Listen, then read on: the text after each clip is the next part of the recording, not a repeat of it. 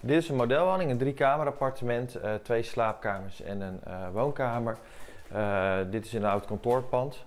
Wel bekend in Lelystad, waar ook vroeger het CBR zat en voorheen volgens mij eh, de ABM AMRO. Dat hebben wij getransformeerd zeg maar, naar 39 koopappartementen eh, in de prijscategorie vanaf 115.000 euro tot 2 ton. En allemaal En- verkocht? Op dit moment zijn ze allemaal verkocht.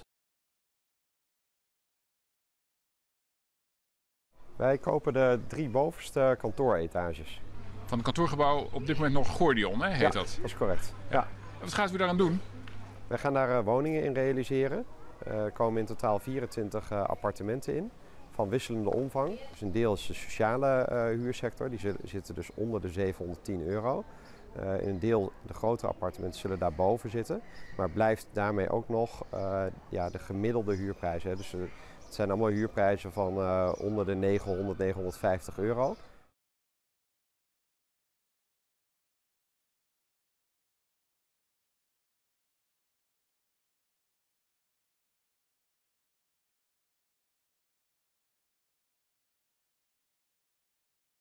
Wat je ziet is dat de huurprijzen door heel Nederland nogal uiteenlopen, maar dat ze ook erg stijgen. Nou, en dat maakt ook dat er veel mensen die ja, een huurwoning zoeken, eh, ja, achter het net dreigen te vissen. Dus een grote markt die bediend moet worden. En die wordt mede ook gedreven doordat bijvoorbeeld kopers in de markt steeds moeilijker eh, een woning kunnen kopen, omdat er weinig aanbod is van woningen. Maar dat financieren ook niet altijd meevalt. Ik denk dat er gewoon te maken heeft dat er ook geen aanbod is zeg maar, voor verhuurwoningen op dit moment. Volgens mij is bij Centrale een redelijk lange wachtlijst voordat me- men eh, een appartement of een woning kan huren. En in deze prijscategorie was het ook zeg maar, voor de, wat, eh, ja, de doelgroep die net niet kon kopen, was het nu mogelijk gemaakt om te kunnen kopen.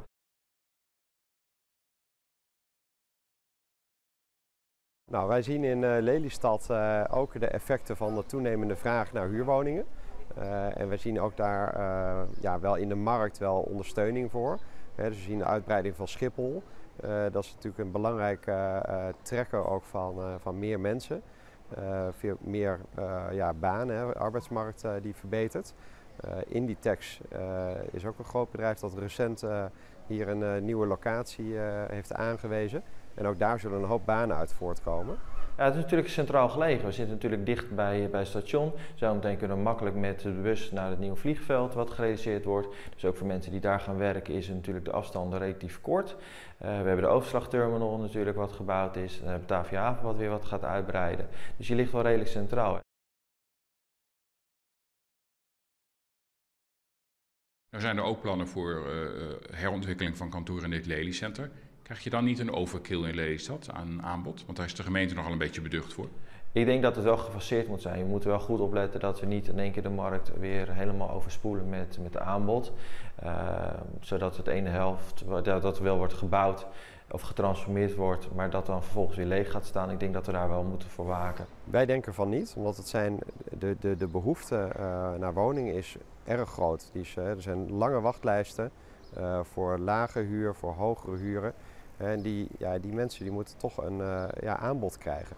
En met het realiseren van 24 eh, woningen lossen wij dat probleem niet in één keer op. En de andere eh, collega-ontwikkelaars die lossen dat ook niet met één of twee transformaties op. Dus hè, er zijn vele transformaties en vele nieuwbouwprojecten nodig om niet alleen in Lelystad, maar in heel Nederland, om aan die vraag te gaan voldoen.